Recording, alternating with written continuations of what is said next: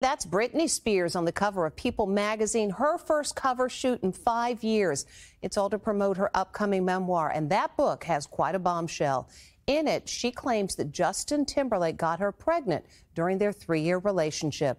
Amber Cagliano reports. Bombshell claims Britney Spears says as a teen, she became pregnant with Justin Timberlake's baby and had an abortion. Britney writes the pregnancy was a surprise, but for me, it wasn't a tragedy. I loved Justin so much.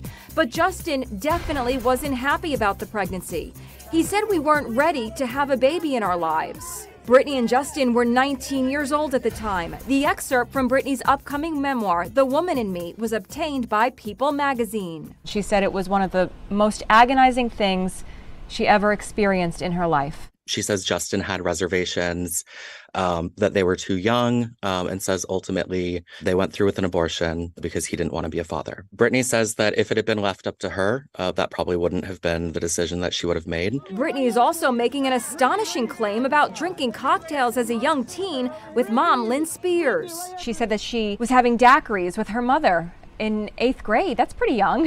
Yeah, in the book, she she says that she and her mother, um, starting when she was in the eighth grade, that they would um, go to the beach. They would have daiquiris together. But she does say that she looks back fondly on that time. As for that infamous night in 2007 when she shaved her head, she writes, I'd been eyeballed so much growing up, I'd been looked up and down. Shaving my head and acting out were my ways of pushing back. Britney Spears appears on the new cover of People magazine posing in a flowery dress on the white sands of Tahiti.